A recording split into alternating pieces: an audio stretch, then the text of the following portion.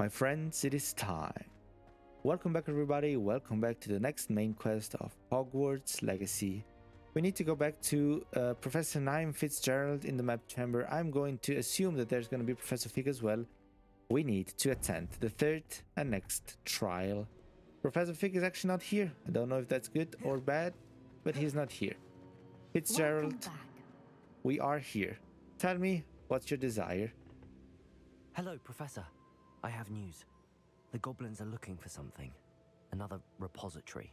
They've built drills to help with their search. Most troubling. Are these repositories like the broken container I found at Rookwood Castle? They are. I fear we have no time to lose. Have a look at the map. Fortunately, the next trial is fairly nearby. It's Hogwarts. As you know, I was headmistress in my time. My portrait hangs in the headmaster's office. In fact, I witnessed Professor Black learn of your arrival. And I'll confess that I wondered about you. Wait, is the next trial in the headmaster's office? It is. Well, really? I had hoped that when the time came, the occupant of that office would be of help to us. Unfortunately, this headmaster seems wildly unconcerned with anything but himself. You'll need to access the office while he's away. I understand. Very well. I'll find some way to get in. Good. I shall meet you in my portrait there. Until then. Well, with that said, we need to sneak in to Professor, to the headmistress, headmaster's room. We're surely going to be able to do that, How will I right? gain It's- access to the headmaster's office? It can't be that difficult. Perhaps Professor Fig will know what to do. Yes, Professor Fig, Professor Fig would know what to do because Professor Fig is great. Professor Fig knows exactly. So therefore, speak to Professor Fig in his office. I would say let's fast travel there and then we will speak to him. Back in the... Here we are. We are now going to talk to him. Hello, Professor Fig. Now here's Professor Fig. The keepers have shown me where the next trial is. Has something changed? Lodgok and I have learned that the goblins are searching for another repository, like the one we saw at Rookwood Castle. And I discovered that they're building massive drills to help in their search. Professor Fitzgerald seemed very concerned. I see. Ranrock clearly knows even more than we suspected. And sir, there's something else. Lodgok knew Miriam. He knew Miriam?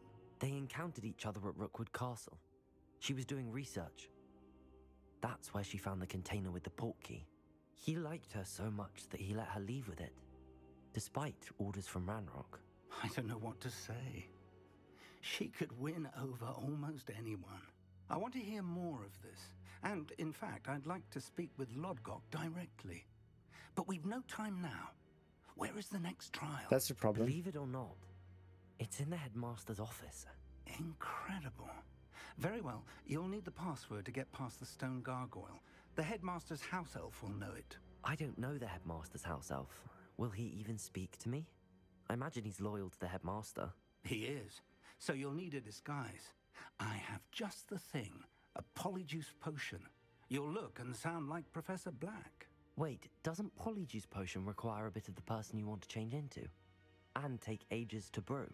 It does. So how do you already have Polyjuice Potion to change into Professor Black? One never knows when such a thing may come in handy. Let's just say I felt the need to be prepared for anything after my fruitless trip to the ministry on his behalf. You're great, Now, time is of the essence. Drink up and I shall explain more.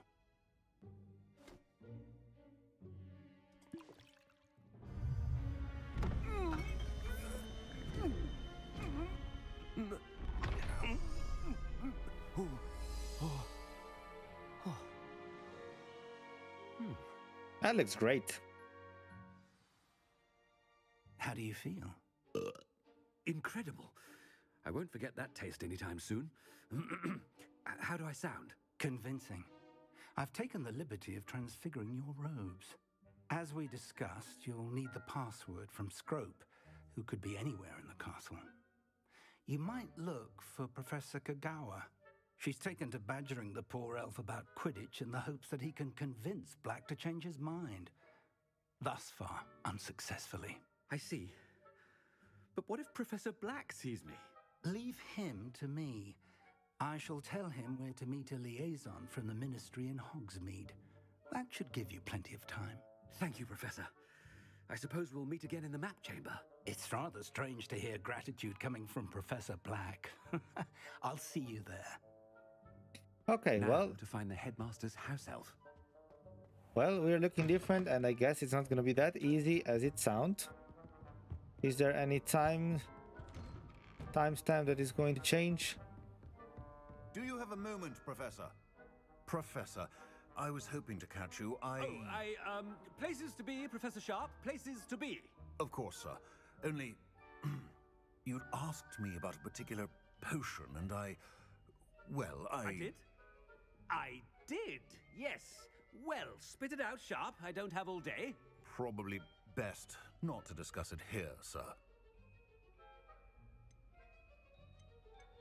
I will decide. what- I assure you, Sharp, you may speak freely. Very well.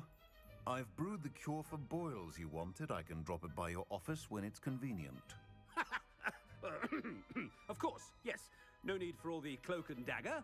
Simply have a student deliver it. A student.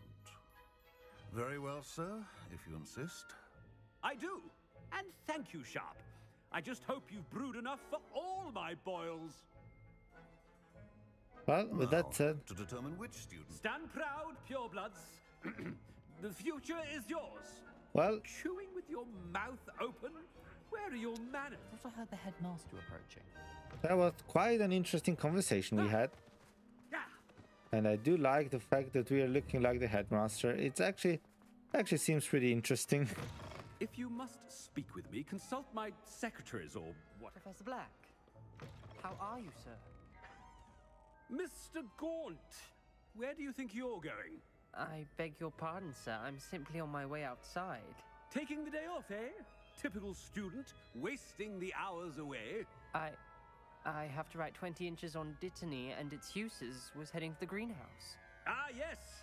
Mixed with uh, bubo tuba pus makes a, a fine uh, mustache paste. Yes, mustache paste. Uh, I find. Are you feeling all right, sir? You don't seem yourself. I assure you, I am quite healthy, Gaunt. If I need a medical diagnosis, I shall head to St. Mungo's. Well, we shouldn't be Has talking. Something is. We shouldn't be talking too much to the people. We should just continue. A word? Professor Black? Again, it is not too late to reconsider your decision regarding Quidditch. We. we could still have trials and a somewhat shortened season. It would be better than none at all. But the injury, Madam Kogawa. Professor, more than one student has taken a bludger to the head on our pitch. I dare say it knocked some sense into them. And they're fine now. The fact that it happened to be a pureblood, well, that's no reason to. What nonsense! That you would trivialize the health of a student over a, a silly game. A silly game. I. You are quite impossible sometimes. Sir, I've a good mind to write to the Department of Magical Games and Sports at the Ministry about you.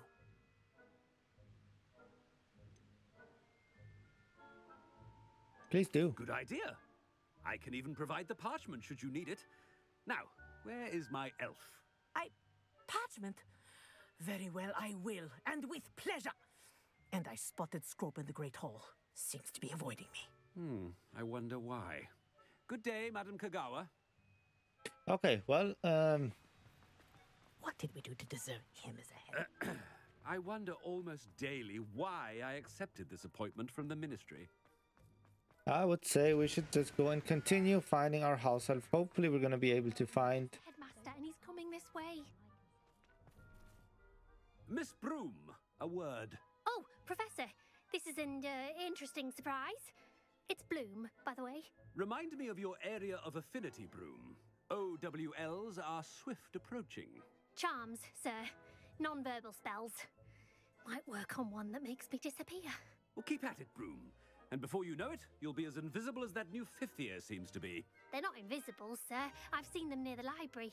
In fact, they help me with my uh, heavy books. Mm, Speaking of invisible, where's my blasted house elf? We need to go and find him. Let's go very quick. 10 minutes in. They all see that something is off with me, obviously, because I'm not the headmaster, but they don't suspect anything. I haven't time for any of you at the moment. None. Professor, a word, please. I don't want Hello, you. Professor Black. Ah, Professor Weasley. How how uh, delightful to see you. Sir? Ah, uh, since I have you here, I wonder if I might um speak with you about Professor Fig. Oh, very well. I've decided to give him a bit more uh, leeway with his time. Leeway, Professor? Are you sure that's wise? I confess I do worry for his students. He's rarely here as it is.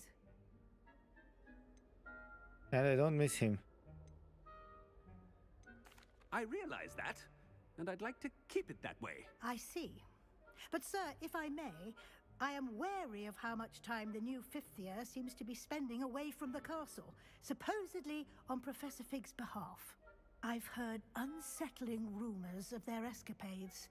Everything from sneaking into the Forbidden Forest to confronting Ranrock's loyalists and Rookwood's lot. What? Goodness. You cannot believe everything you hear, Professor. No, no, no, no, you cannot. I mean, I shall keep an eye on Fig. You simply keep doing the wonderful job that you're doing. simply wonderful. I.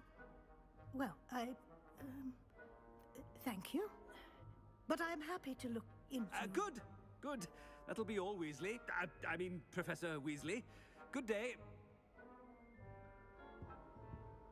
Well, A wonderful job. Leeway for Professor Fig?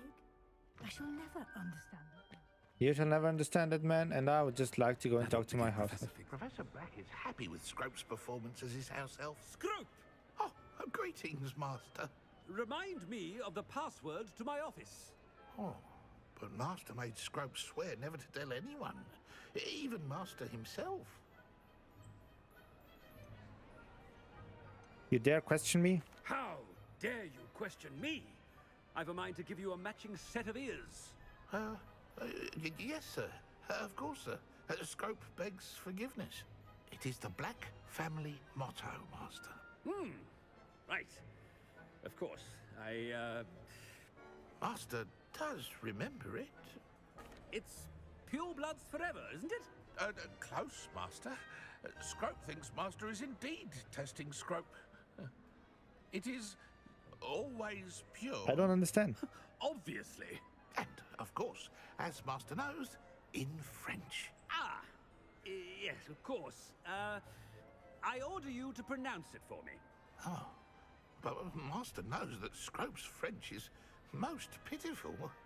Oh, uh, very well. Toujours pur. Ha! Thank you. Never speak of this conversation with me or anyone else. Of course, sir. Scrope shall try his best to keep out of Master's way. That is quite interesting, to be honest. That is quite interesting, to be honest. I love it. The polyjuice potion's wearing off. I best get out of sight.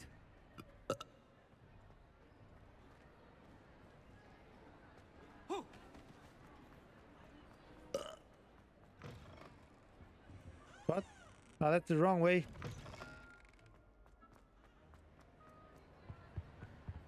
Ah, that's the police poison wears off. Okay, we need to run. We need to go away. Nobody should see us. Nobody should see us. I don't know if it is actually a time game or not. Ah, Made it just in time. It's wearing off. There we go. Fig was right. I can't believe it worked. Now to speak the password to the gargoyle. Well, with that said, should be pretty obvious what we need to do. The Polyjuice plot quest completed. I mean, quest completed. The first part of the quest is probably completed. Because there's going to be a second part. That second part, can we do that already or not yet?